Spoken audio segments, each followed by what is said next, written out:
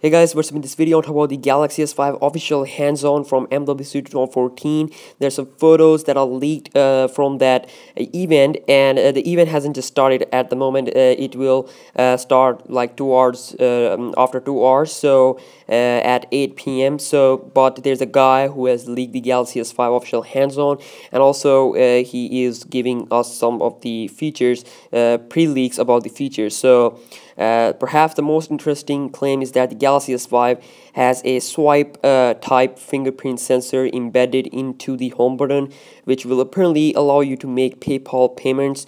And also the Galaxy S5 is IP67 certified meaning it's water and dust proof just like the Sony Xperia Z2 the camera is said to be 16 megapixel one on the back and it's also interesting to note that the phone has gone through some rather minor but visible design changes. Uh, for starters the back has a rather aggressive dotted pattern uh, so no fox leather this time around. More, moreover a snap that puts the Galaxy S5 next to the Galaxy S4 Note 3 indicates that the phone has grown uh, precipitately.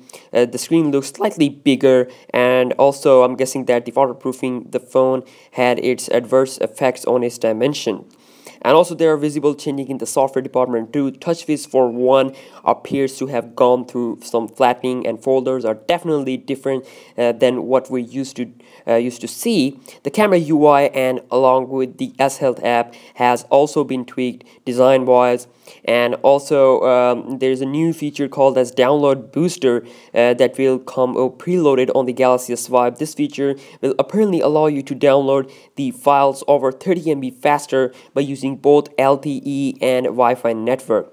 So these are the photos that are uh, pre-leaked because you know we will definitely gonna see the Galaxy S5 two hours later from now at 8 p.m but this is interesting to see that it is pre-leaked even though today is the event but it is leaked. So these are the official photos from the MWC 2014 I repeat these are the official photos from the MWC 2014 this is the Galaxy S5 which is for real.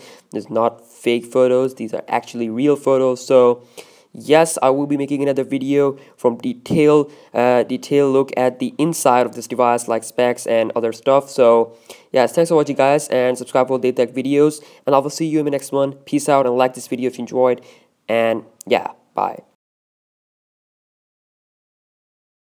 this coverage of MWC is brought to you by Bitdefender Mobile Security. It's past versus present on this edition of Versus, as it's Joshua Vergara from Android Authority. What's going on, everybody? And here we're taking a look at the Samsung Galaxy S5 versus its predecessor, the Galaxy S4. The Galaxy S5 is slightly larger and thicker than its predecessor due in large part to that big display, and the phone is also about 15 grams heavier. But the S5 does move away from the glossy feel of the S4 as Samsung has opted for a soft touch material for the back. On the front, we do still have the same uh, layout, but instead we have a change from the menu button of the S4 to a recent apps button for the S5.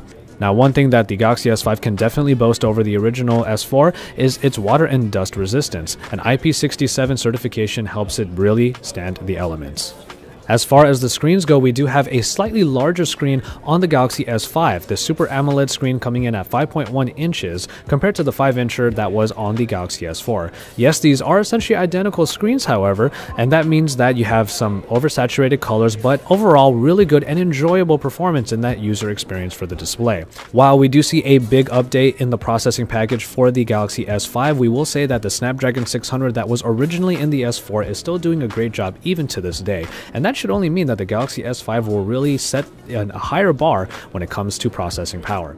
But then when we move on to the hardware department, we'll, we will find that the Galaxy S5 does have a slightly larger battery, jumping from the 2600 mAh unit in the S4 to the 2800 mAh uh, unit on the S5. What we will say, however, is that the Snapdragon 805 in theory should be more power frugal, and also Samsung added in quite a few options for power saving.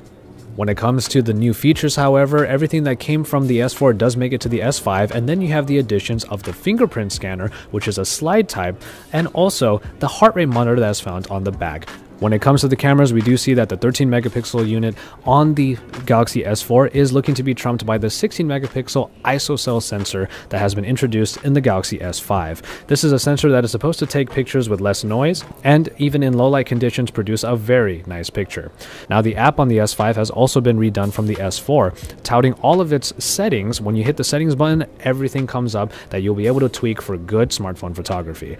And in the end, we do see that the S5 is looking to just be a better camera overall compared to the S4. And finally, when it comes to software, we were really hoping that there was going to be a big evolution from the S4 to the S5 when it comes to TouchWiz. Unfortunately, some of the aspects of TouchWiz were changed, but not enough to, in order to make it really feel like a big difference. The inclusion of a recent apps button on the S5 does allow it to have a little bit more multitasking that is more easily accessible, as you can just jump in and out of apps very easily instead of having to hold the home button in the S4. And finally, the My Magazine UI has been brought to the front and is now a second screen all the way on the left, much like a Google Now in stock Android. So it does change a few of the aspects, but in the end, TouchWiz still pretty much looks like TouchWiz. So if you were expecting a big change between the S4 and S5, you probably didn't get it here. In the end, both of these phones do represent some of the best that Samsung has had to offer, and in terms of the S5, it just continues that tradition. Whether or not all of the new things are going to be useful for you is definitely a question that you can answer for yourself. But the S4 is definitely no slouch, so it doesn't deserve to just be dismissed in this comparison. We have a lot more coming on the Samsung Galaxy S5, so make sure you stay tuned to Android Authority as we report it all to you from the Mobile World Congress here in Barcelona, Spain.